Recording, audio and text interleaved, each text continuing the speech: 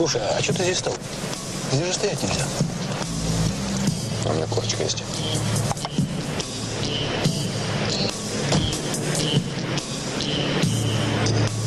Камера быстро. О, Коля Большой объявился. Трусы подключились.